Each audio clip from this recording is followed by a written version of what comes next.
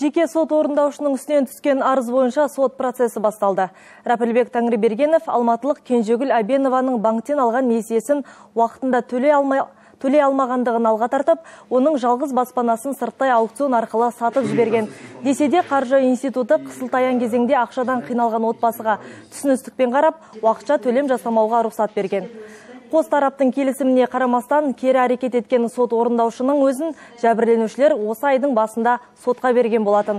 Алайда азамат Рәпілбек Тәңірбергенов бүгінгі отырысқа төбе көрсетпеді. Сондай ақ пәтерді сатып алған Сәбитов деген азамат та сотқа шақырылғанымен келген жоқ. Ал несие берген банк өкілдері бұл іспен бүгін ғана танысқандықтарын алға тартып, артық ауыз сөз айтудан бас тартты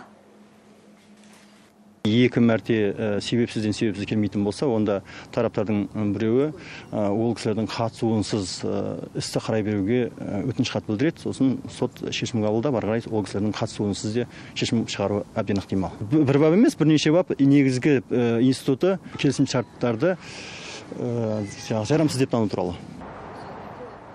Баспананың бәс саудаға шығарылуының өзінде заңсыздықтарға жол берілген дейді құқық қорғаушы. Өйткені сатылымға жылжымайтын мүлік иесінің жақын екі туысы қатысуға құқығы болмаса да заңды белшеден басқан. Оған қоса аукционға қатысқан үшінші адамның шотында шарт бойынша қаражаты толыққанды болу керек. Бұл талапты да дер кезінде пысқырмаған көрінеді.